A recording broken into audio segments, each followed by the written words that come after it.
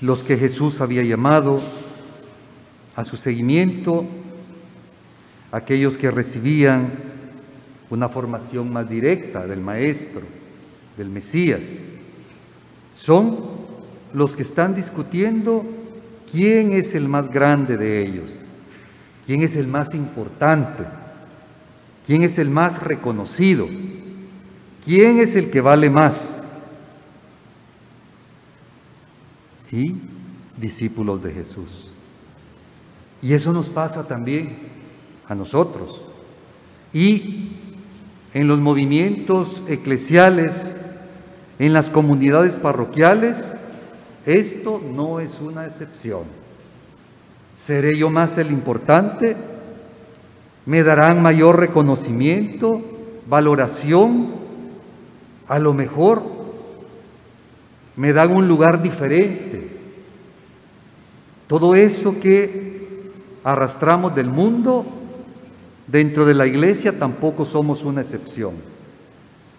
Y dije primeramente movimientos eclesiales y parroquiales. Pero también dentro del clero sucede lo mismo. También hay quienes entran para hacer carrera. Si voy a ser importante.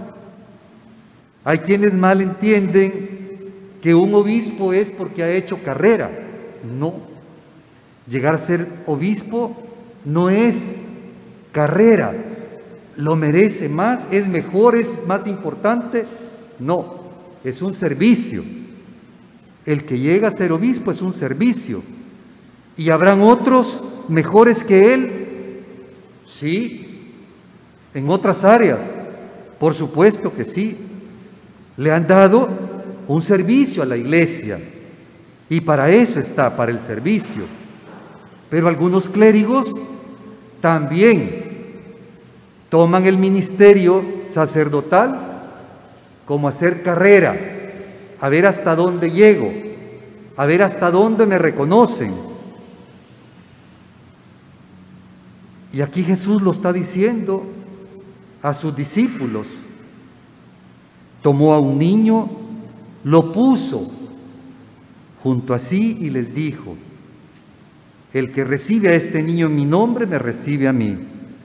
Y el que me recibe a mí recibe también al que me ha enviado. Y en realidad, el más pequeño entre todos ustedes, ese es el más grande. Pero el mundo es todo lo contrario. Soy gerente, soy director, soy presidente de una compañía, de una empresa. ¿Soy más importante? No. ¿Soy más grande? No. Es un servidor. Todo es un servicio. Pero el mundo nos lo presenta de manera diferente.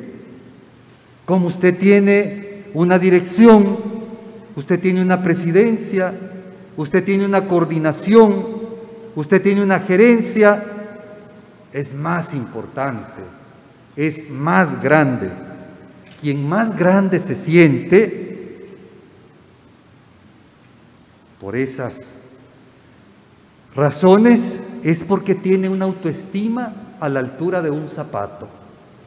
Su autoestima es pobrísima, pero muy pobre, porque se cree, se cree grande por lo que representa ante los demás.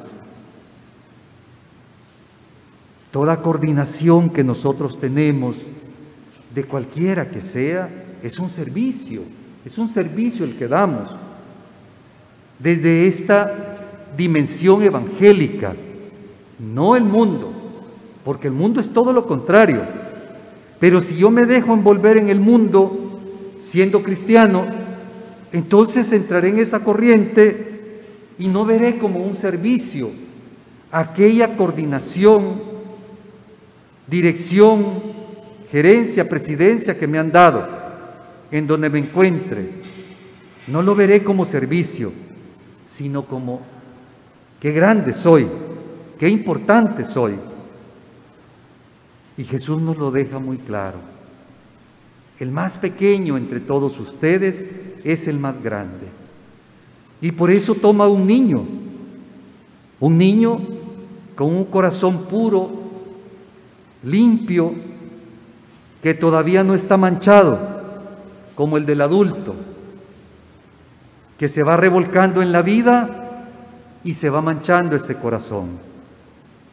Pidamos a nuestro Padre Dios que lo que tengamos de mancha en nuestro corazón, lo purifiquemos y que seamos grandes sirviendo y amando a los demás. Que así sea.